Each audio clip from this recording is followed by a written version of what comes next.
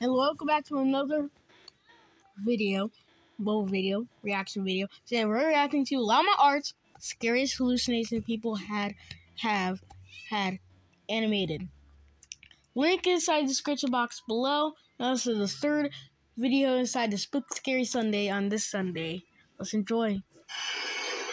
You can see some weird things when you're tired. But the mm-hmm. thing about this story, I wasn't tired. Me and the family were on vacation to some resort in a very rural area of Pennsylvania to make the setting creepier. Mhm. There weren't many young people there for me and my brothers to hang out with. It seemed like more of an adult resort. But then one day, when I was walking outside of the main lodge of the resort, Mhm. I, for some reason, looked up to a window on the second floor and saw a teenage girl looking down at me. From that distance, she looked kind of cute, so I gave her a wave. She didn't show any sign of reaction, so I just moved on. However, later that same day, I was so bored that I was sitting on the swing set at the little playground of the resort, and that's when I saw the same girl again.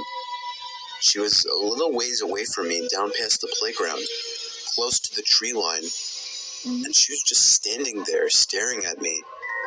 Being a teenage guy, my hormones controlled my body, and so I got off the swing and began walking over to her. As I started getting closer to her, I realized she wasn't as cute as I thought she was. There was something about her face that just gave off a creepy vibe. I can't put my finger on it, but if I had to say, I think it would have to do with her eyes and her mouth. I'd say once I got about halfway over to her, she turned around completely and ran into the woods. And I mean, she full on ran into the woods. I stopped in my tracks, completely turned off. This girl seemed like a freaky stalker. I didn't see her the rest of our stay at the resort. During the car ride home, miles and miles away from the resort, I was thinking about her. Maybe that was the first time to get out of there. How maybe if I followed her into the woods, I could have gotten laid, even though there was something off about her face. But then what I saw next made me feel like my heart dropped into my stomach. Looking down ahead, I saw the same girl standing by the tree line on the side of the highway. Oh, that's very creepy. That's a ghost for sure. As we sped past her, I saw her head turn so that she was always looking right at me, even through the tinted minivan windows.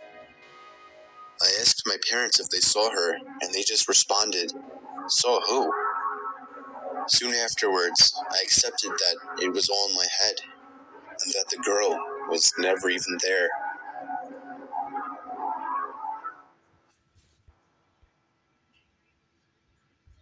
Well, I guess this was this reaction video.